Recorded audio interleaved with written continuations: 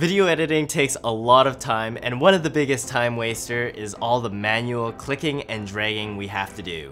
Not only is it tiring, but I'm often not very precise, causing some clips to be cut off, or worse, leaving a black space in between two clips. With Auto Ripple, a whole new feature to Filmora 9, that tedious task is now history. Hey everyone, it's Elliot from Filmora here to empower your inner video creator. Welcome to 2 Minute Tip, a series where we're gonna teach you a video editing tip in 2 minutes or less. Because your time is valuable. So, without further ado, let's get on to today's topic, Auto Ripple. Alright, start the timer. Here's a little project I'm working on.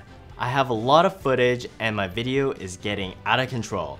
It's too long and I want to get rid of some clips. I delete them and suddenly there are gaps in my video. Without auto ripple, I'll have to drag and drop all the remaining clips and align it. That is going to take way too long. I'm busy. I don't have time for that. Let's use auto ripple. You can find the auto ripple feature which is shaped like a chain in Filmora 9 on the top left corner of the timeline. If you see a slash through it, that means it's inactive. So let's give it a click and activate it. Now let's start cleaning up my video with Auto Ripple. I don't want this particular clip anymore, so I'm going to select it and hit delete. The following clips will then move forward to fill in the gap, saving me the time it would have taken to drag and drop. Multiply that and you will save yourself a lot of time and prevent a lot of mistakes. If you're using markers to mark certain areas of your video and don't want them to move when you delete a clip with auto ripple, make sure that it is marked on the timeline and not the clip. You can confirm that if you see the marker at the top of the timeline.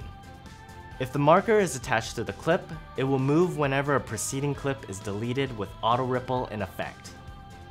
There you have it, that is how you use auto ripple to save time while editing. Is there a video editing challenge that is too complex or is taking too long? Let us know in the comments below. We'd love to help you out. If you want more video editing tips and tricks, be sure to subscribe.